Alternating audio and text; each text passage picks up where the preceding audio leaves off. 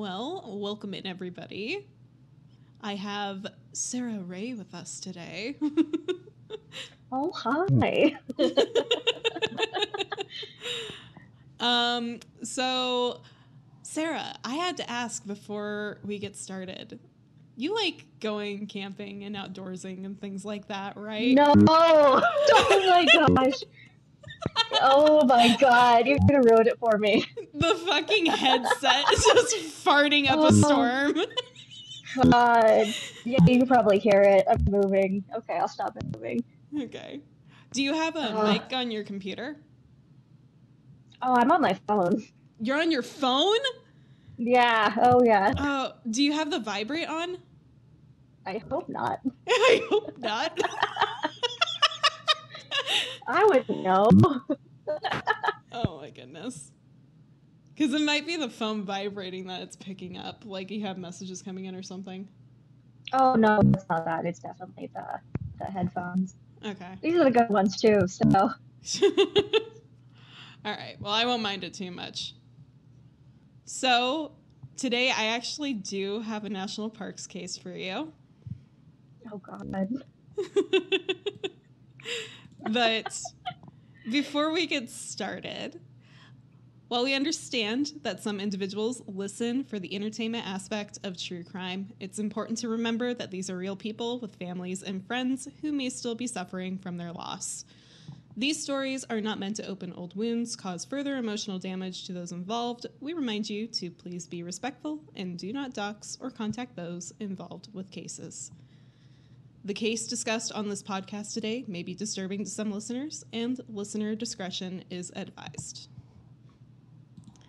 I don't think I have any trigger warnings, which is a rarity considering all of my episodes have had trigger warnings so far. Okay. I guess it doesn't sound too scary so far. I will say, though, that this is probably one of the more weird and interesting cases that I have dealt with in a while.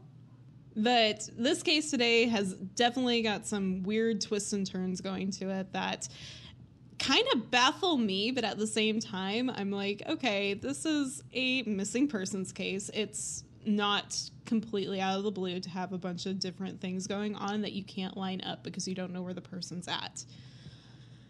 But we'll get started. So, Sandra Johnson Hughes was born on July 26th of 1966 and was an avid outdoors woman according to her friends and family.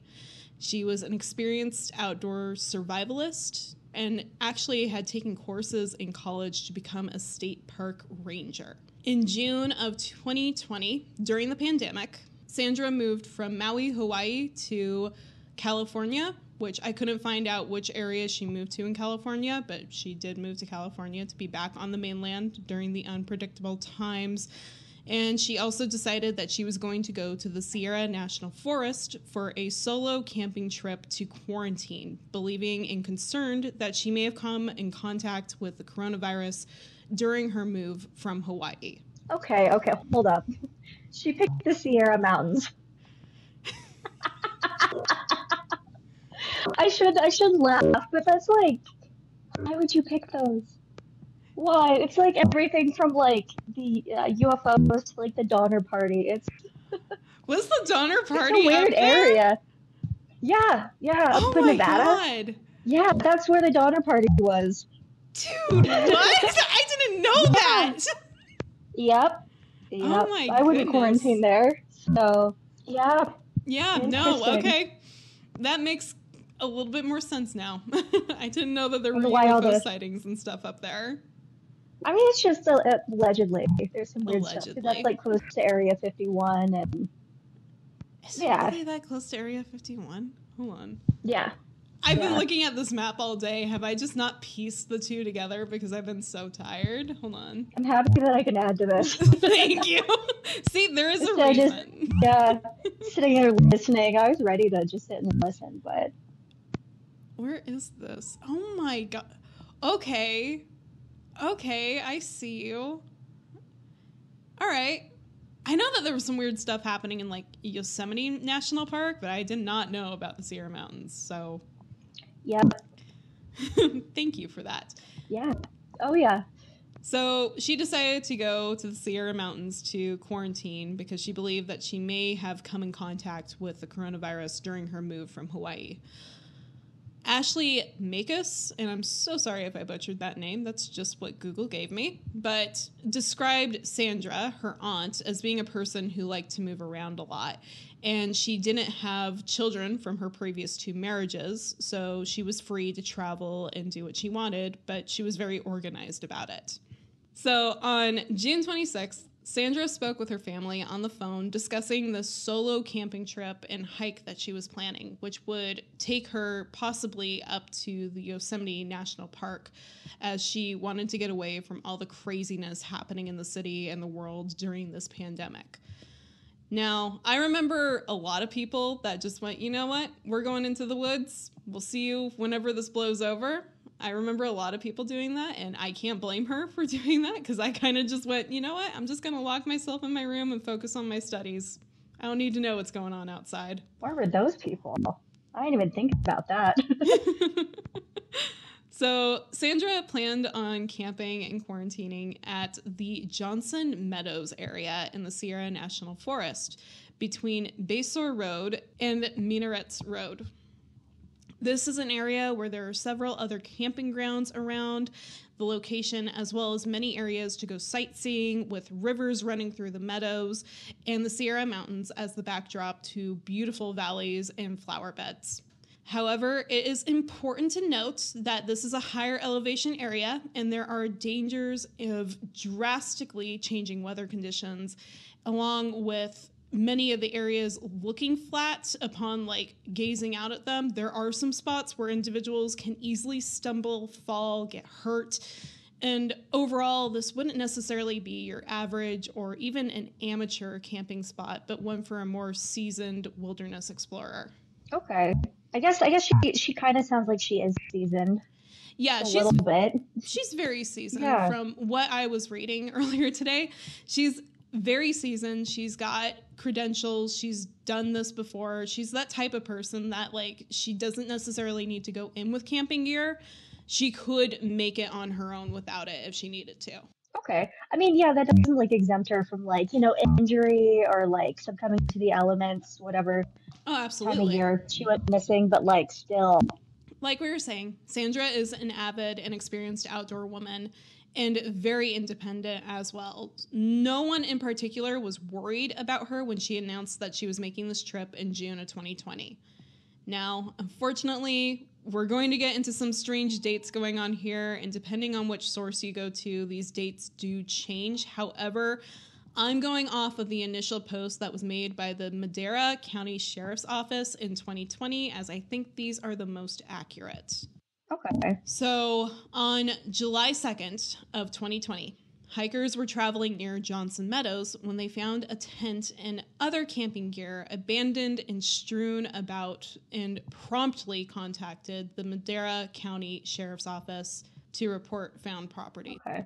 Within this campsite, items that were strewn about were things like folders containing documents such as birth certificates, social security card, and there was a full binder of contact information, which was actually how the authorities got in touch with Sandra's niece, Ashley. The sheriff's department notes that the abandoned campsite at Johnson Meadows was disheveled and relayed this to Sandra's family, to which Ashley was quoted saying she would never leave her campsite a mess.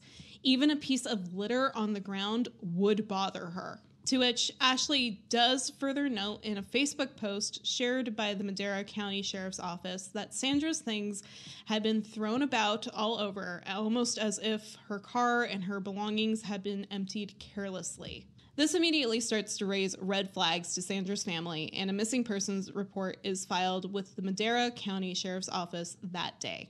Days later, on July 4th of 2020, Sandra was reportedly seen near the Chiquito Pass trailhead, according to the Yosemite National Park officials. There was a car crash that multiple people witnessed that was near the abandoned campsite. After this crash, Sandra gets out of the car and multiple people start offering her help, but she declines help from anyone that is offering and other fellow motorists that pass her. Now, reportedly, she hung around the vehicle and was seen there for a while before walking off into the woods and basically vanishing. She was spotted two more times by hikers going through trails, and they did not know at the time that she was a missing person. And these sightings were later reported to authorities, with hikers noting how she was barefoot and she had a bruise going across her face. Now, these groups did ask Sandra if she needed medical attention, but she declined at the time. Now, moving forward, and it's undisclosed which day this happened, but a couple of days after the sighting on the 4th, about 2.5 miles from where the accident scene had taken place, and just inside the Yosemite National Park boundary lines, a sleeping bag matching a receipt from REI purchased by Sandra was found. On July 5th of 2020, a silver Saab that belonged to Sandra was found high centered on a stump in a ravine near the Chiquito Creek trailhead having collided with a tree and based on the damage that was done to the vehicle authorities believe that this was a low speed collision meaning that she wasn't speeding or anything. However somehow she did lose control of the vehicle. At the time law enforcement allowed the vehicle to remain in place hoping that the owner would return for supplies or to seek shelter in it. A note was written and attached by the Forest Service officials to Sandra's car saying, Your family is worried about you, and to please contact the Madera County Sheriff's Department. Now, the search is on. Deputies and volunteers from Kern, Tulare, and Fresno County Sheriff's Offices assisted Madera County Sheriff's Office search and rescue, along with the search and rescue from Mariposa, Kings, Santa Clara, and Marin counties. The California National Guard Black Hawk helicopter was also deployed to aid in an aerial search for Sandra, while canines and their trainers assisted on ground.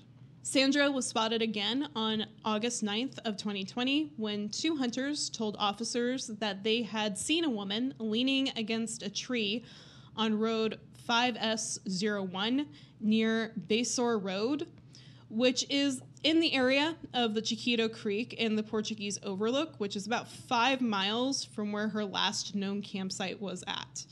The two hunters didn't know that she was a missing person until returning from the forest and seeing one of her missing persons flyers.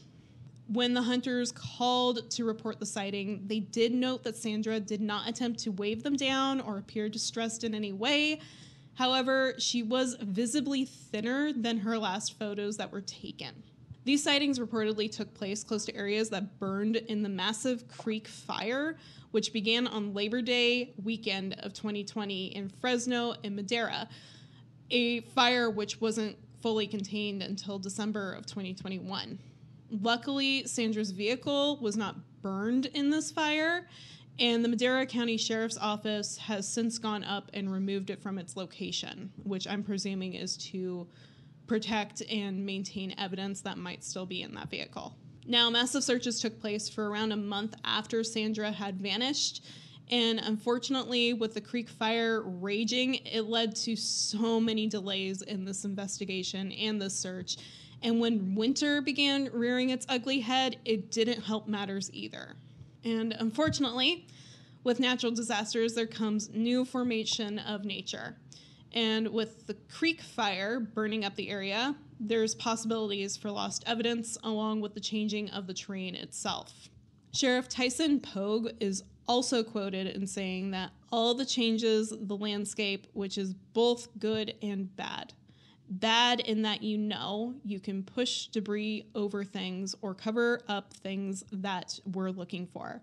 But also, if it was something under a bush, or if there was something under a bush, maybe it moves the bush out of the way and you can find that item that's been missing. Now, search teams do continue to actively follow up on leads and review evidence regarding this case, according to the Madera County Sheriff's Office, along with planned searches for summer to revisit some of these areas where evidence was collected Tyson does discuss how one of the hardest things in this case was the lack of clues that were found at the initial campsite. And according to a report done by Fox 26 News, clues that come forward regarding this investigation are still active. However, they're not being discussed or disclosed to the media at this time. Ashley does note that it's not like Sandra to disappear like this. She will always call or text when she comes into cell phone range. Ashley also notes in her post that law enforcement does not believe that Sandra is trying to evade them through their searches, but does believe that she may be in a disassociative state and unable to recognize that she needs help. And this was an update made back in 2020, which was three years ago, so I'm not entirely sure how that plays up to today. And if she is in a dis- disassociative state, it's obvious that she's not thinking clearly and there's some mental health issues going on there. Oh. Now, authorities did note in 2021 that they had no evidence to suggest that Sandra had suffered any serious injuries or anything worse, which I'm presuming they're basically kind of saying we don't suspect foul play at this time. Now, there was a really weird sighting in 2021 as well. And I gotta mind you to take this with a grain of salt and some skepticism, as much as I do believe in the paranormal. What started out as a simple family outing turned into a spooky experience. Jake and Victoria Gorba had traveled on July 21st of 2021 to the Madera County Mountains with their three children. They decided to stop and have lunch along the way when their three year old son, Caden, started talking to someone or something that wasn't there. And when he relays the story to his parents while they're sitting in the car having lunch, a cold chill goes down everybody's spines. Caden says, There's a lady over there in the meadow in a black shirt. She needs our help, but she's dead. And she's laying face down with her legs up and she can't talk to me, but she's over there. We need to go help her. Both parents searched the meadow but saw nothing. However, Caden was still insistent about this claim and tells his mom over and over again, Trust me, trust me, mom. Please trust me, mom. To which Victoria recalls saying, I trust you. You know I believe you. 100%. The family was so spooked by this experience, they decided to call it a day and head back home. However, hours later, they're unable to shake this experience off and take to Facebook to share their story, hoping it might jostle somebody's memory of a woman in a black shirt. Before long, the couple receives a phone call from the Madera County Sheriff's Office. Corporal Chris Williams had spotted this post while scrolling through Facebook one day. He read Caden's story, and the description of the woman that he saw stopped Chris in his tracks as he'd been working on a missing persons case for more than a year that had very few leads to it. Sandra, who disappeared less than five miles from where the Garbos stopped to have lunch. However, the part that really gave Chris chills was Caden was able to describe Sandra down to the very last detail and pull her picture out of a lineup. Now, Chris, Jake, and Caden did return to the scene for a second search, but the search once again came up dry. So interesting.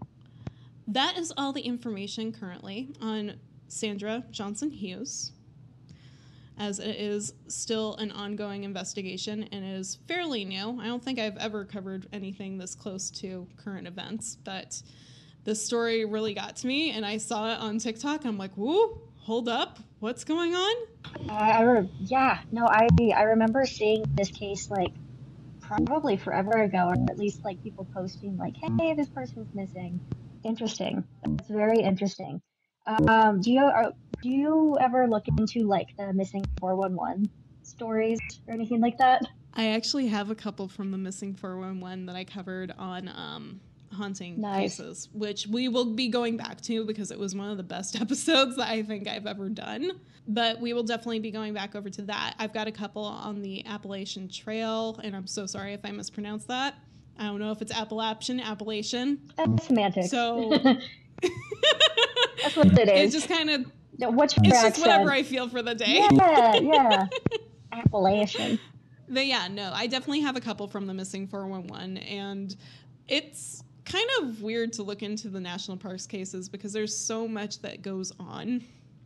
And I don't know, I don't feel like it's downplayed, but at the same time, I feel like it's just something that we don't talk about as much because it's recreational centers. But even going through like Tennessee and the Smoky Mountains, I mean, I was driving through some of that, and there are people that it's like, they tell you don't go off the trails, and people are going off the trails. And I'm like, how many people have just walked out there and vanished because they weren't experienced enough to handle this? Yeah, if you don't know what you're doing, you can get lost so quickly in the woods. You can get turned around and just.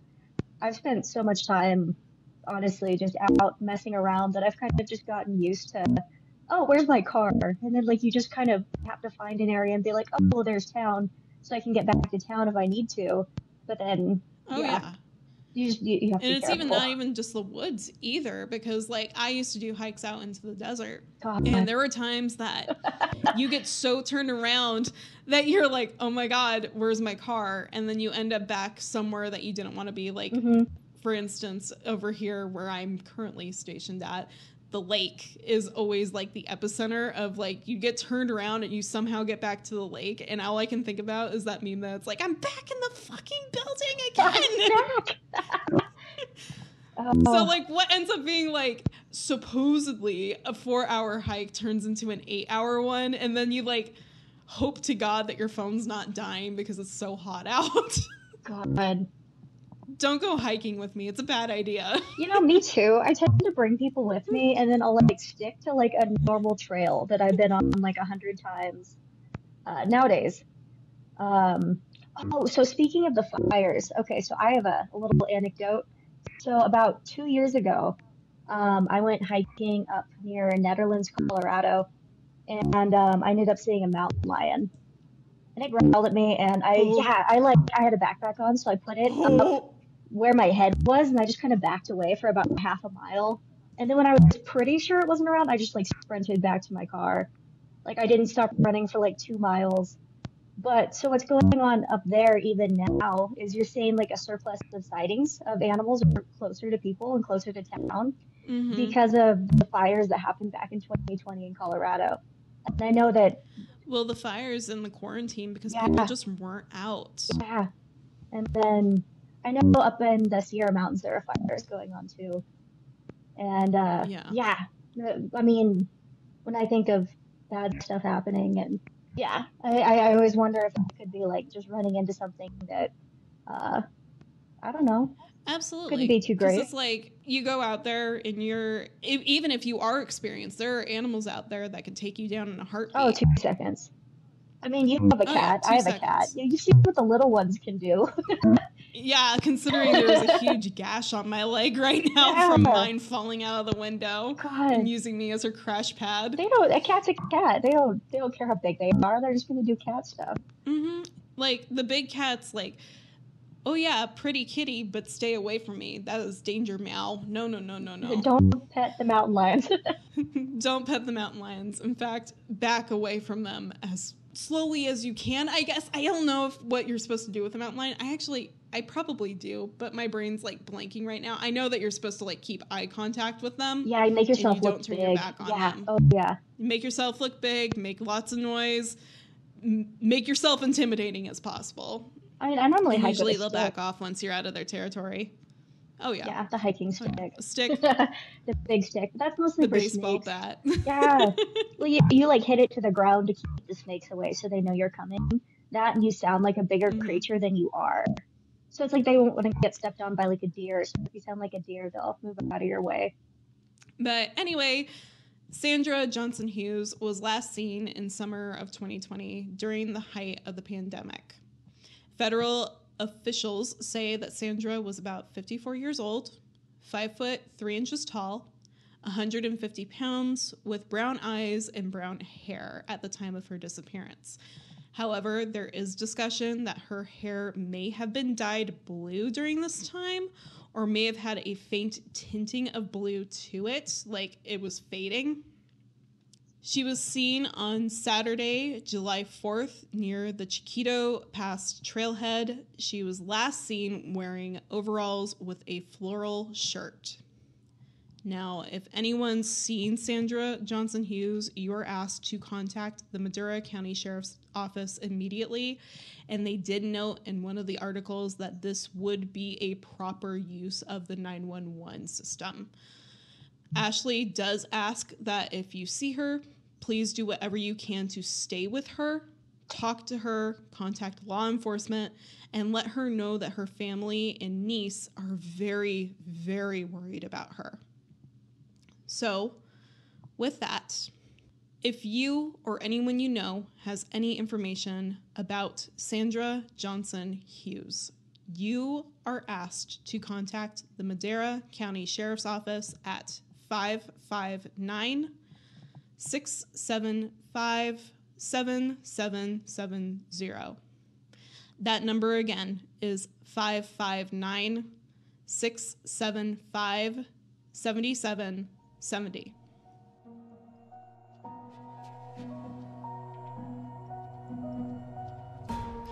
Thank you again for listening to Spattered.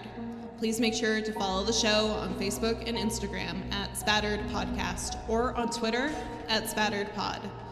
Be sure to follow and rate the show on Spotify, Apple Podcast, Amazon Music, or wherever you get your podcasts from. If you're watching on YouTube, please make sure to hit that like button, ring that notification bell, and smash that follow button. As always, if you have a story request, any questions, or are interested in sponsoring the show, please email me at spatteredpodcast at gmail.com. Spattered is a true crime podcast hosted by Caitlin Gardner. The research for this episode and its edits were done by Caitlin Gardner. All the music for the show comes from Lucio Cardenas, James Hanson, and Caitlin Gardner.